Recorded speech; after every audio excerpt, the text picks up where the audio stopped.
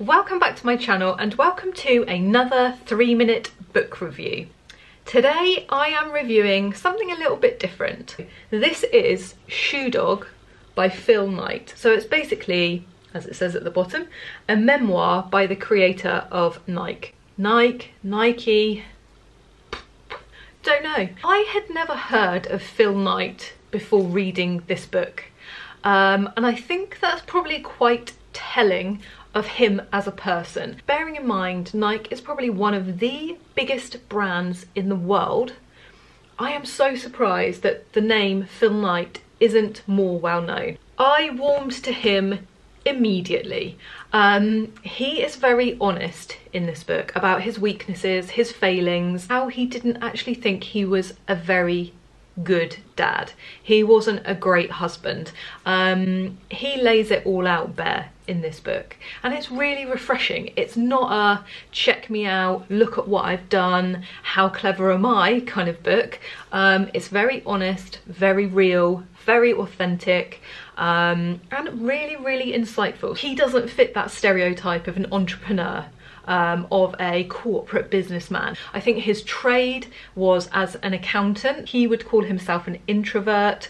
These are just not things that you would associate with someone who had built up one of the biggest brands in the world which I loved and was so interesting to read. Nike started out as an import company, importing trainers, running trainers, from Japan um, and was originally called Blue Ribbon Sports. You actually don't get to the Nike birth part of the story, I would say until at least halfway through, maybe more. There were some really interesting little sort of stories in there. When they were choosing the name, they were they were considering a number of other names before they came up with Nike. Now let me just tell you, I wrote them down while I was reading it.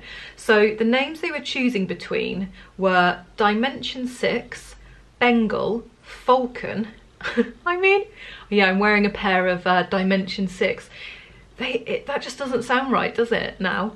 And actually, it was right at the end that someone threw in the name Nike after they'd had a dream about it.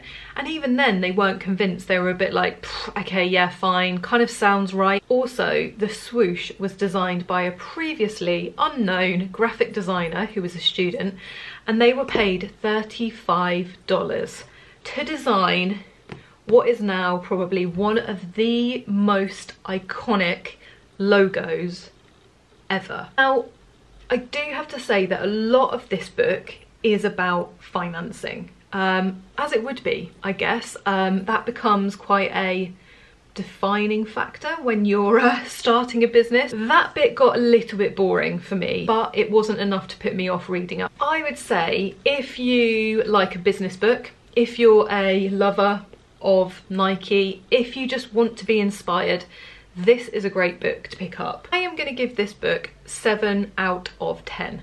Like I said, the only way that that score could have been improved if there was a little bit less on the finance side of things. And also, I would have quite liked, let me just see how far it gets. I would have quite liked if the story had been extended past 1980.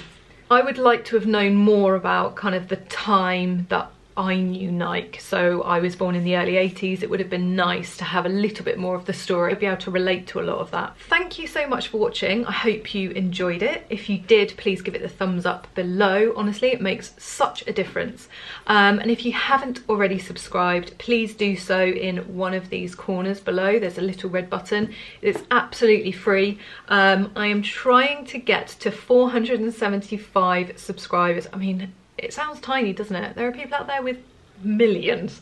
Yeah, I'm trying to get to 475 subscribers by the end of May. Um, and I have lots more book content coming your way, as well as a lot of other content. So if that sounds good, please subscribe. Thank you again for watching. Take care of yourselves, and I hope to see you back here next week where I will have a new video for you. Take care, bye!